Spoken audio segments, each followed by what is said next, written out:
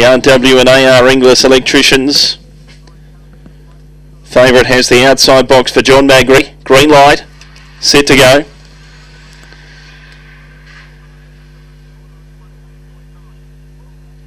They're off. Beginning well was Humade, who against the inside hit the beat away well. Around a third there was Hawkatron, followed by Project Boy next of all. Buckle up, Nicky. Go little Pebble Buster. Vosa Ruben a faller off the back. Hit the beat in front, but Hawkatron runs on powerfully around the outside. Goes to the lead from Humade, who Hawkatron took over from Hit the Beat. Hawkatron straight away. Hawkatron went on to win. Maybe Hit the Beat second from Project Boy, who rattled home. Then Humade, who followed him by Buckle up, Nicky. Then Go Little Pebble Buster Vo. Fuller on the first turn with Sir Ruben followed them home. 22.82 the time.